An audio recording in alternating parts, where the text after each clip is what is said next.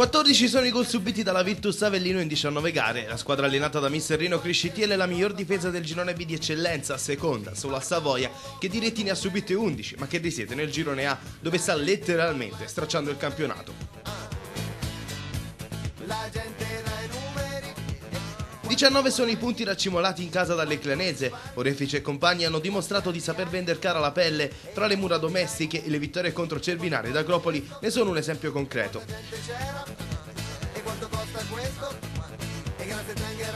In promozione al vertice della classifica il dato più interessante riguarda il numero di pareggi della capolista San Tommaso e della seconda della classifica Polisi. Entrambe le compagini hanno pareggiato soltanto in due occasioni, nonostante siano passate 19 giornate.